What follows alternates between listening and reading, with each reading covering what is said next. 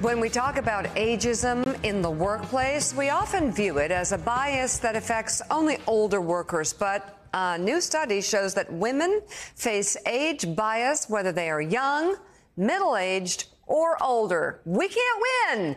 And that can impact not only women's ability to rise in the ranks, but the broader economy as well. Here to explain, Maggie McGrath, editor of Forbes Women. Also with us, Huma Abedin, vice chair of the Forbes and Know Your Value 3050 Summit. Great to have you back. Jen's back with us as well. So this was in Harvard Business Review. Tell us more about what the study found, Maggie. It found that women are subject to and suffering from something they call never right age bias, huh. which I think uh, is not a surprise to anyone at this table. Damn it! I know. Researchers, so when is what's the right age? I think there is none according to this. Oh. The women in their uh, age 20 to 40 reported being belittled, demeaned, their credibility was discounted. A 39-year-old woman reported being patted on the head at work, patted on the head, which is horrifying. Literally patted on the head. Literally okay. patted on the head. Okay. Um, women in the 40 to 60 age range reported being passed over for roles and promotions because mm-hmm. of assumptions mm-hmm. about caregiving responsibilities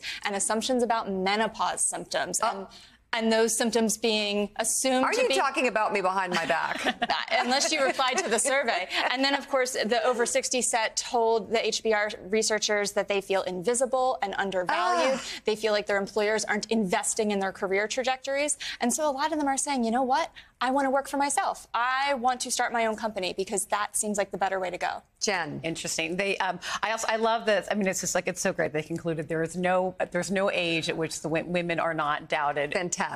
Because of their, because of their age. I remember Harvard, Harvard Business Review also did a great study a few years ago about women being interrupted, mm-hmm. and in the Supreme Court, you know, Elena Kagan, Sonia, Sonia Sotomayor at the time were more interrupted than any other, any other man on the court by a lot, and they concluded there was no level of qualification that was high enough for a woman that she would not be interrupted or dismissed. missed. So I feel like what we come away with, particularly when you're in your, you know, I'm 56, is I know this is all crap. Therefore, I'm going to keep going. So I feel like more power through it. This, yeah, just gonna. If I had to power through it, of course I'm going to be doubted now, just like before. I'm not going anywhere. I'm just getting started. But um, what you know, they looked at a lot of things in this study. What about the trajectory for women's careers as yeah. individuals, and then the broader impact it has yeah. on the economy? Well, you know, I'm turning 48 next week, and a friend of mine texted, who's looking for a job right now, texted me the other day saying, "As a woman, you're always told you're either too young."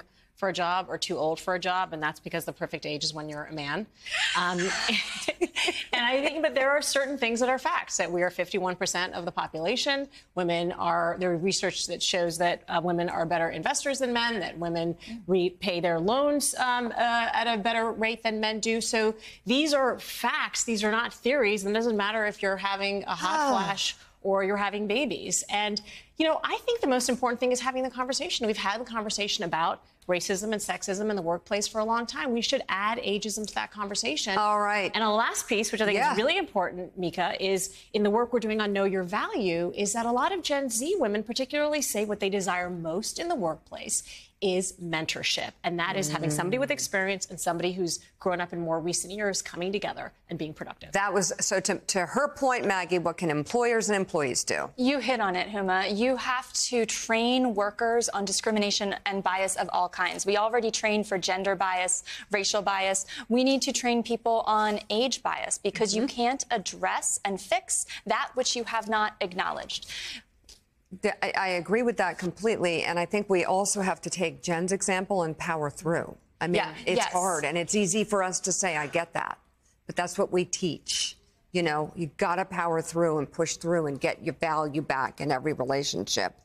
By the way, of all people, all people, you too would know how women are criticized. I mean, Nikki Haley being called past her prime, and Hillary Clinton during the campaign. It was cleavage, it was whatever, it was facial expressions. I mean, we get judged for everything, and so that's very hard to power through. You've seen it.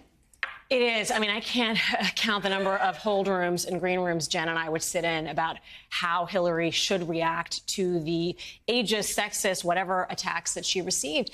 And I would argue, and I'm curious yeah. if you agree with me, that, you know, it was a mis, you know, silence equates complicity. To to not, you know, we would just say grin and bear it, you know, to show power, to show that resilience, show these male characteristics of leadership. Yeah. And the reality is, you got to call it out. And I think sexism and and ageism and all these things in politics has gotten worse. I mean, we're living in a time when the Southern going Law backwards. Poverty, we're 100% going. The the Southern Law uh, uh, Poverty Center has now male supremacy groups. It was white supremacy Yeah. groups on the rise when we were, you know, in 2016, the campaign was going. So uh, I think speaking up, calling it out, and defending yourself. I was saying it was a different time in 2016. If we had, I mean, remember the, the famous debate Yeah. uh, in Kansas, no, St. Louis, when Trump was sort of lurking behind Hillary Yes. and, you know, really trying to physically dominate her. And she said afterwards, she's like, you know, I should have told him back up, you creep. Yeah. You, and I was like, you know, no. Because if you had done that, the headlines the next day would have been Hillary Clinton rattled. Exactly. And we could not have that. But even though I mean, I don't, I don't know that it's getting. There are examples of it getting worse, but I think it's more like it's coming to a head, and we are, call, you know, now you can call it out, and, Well, you, now and you've you need to do the that. culture. So we're a Power minute past through. the top of the hour, but I do want to just get one thing in. It's fascinating how this, you know, goes into the political conversation as well and how political candidates are treated. But we're going to be announcing our 50 over 50 list in just what days practically. And Maggie, you say that the competition for the impact list is tougher than ever. Why? What, what's going on? We have more women running for office. We have more women helping women run for office. But by and large, over the three years of doing this list, what we see are women hit their 50s, 60s, and beyond and say, hey, I have time, money, and resources to devote to causes that matter the most to me. Mm-hmm. Some people spend their lives working for a for profit company and they hit their 50s and say, I want to work for a nonprofit or I want to start a nonprofit.